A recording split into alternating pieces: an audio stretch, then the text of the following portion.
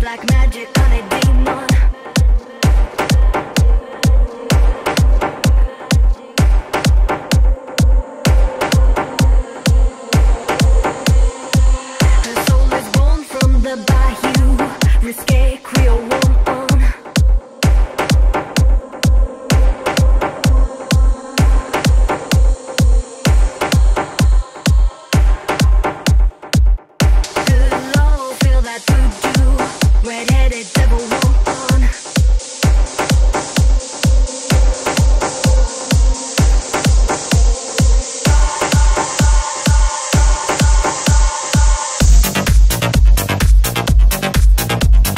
Thank you.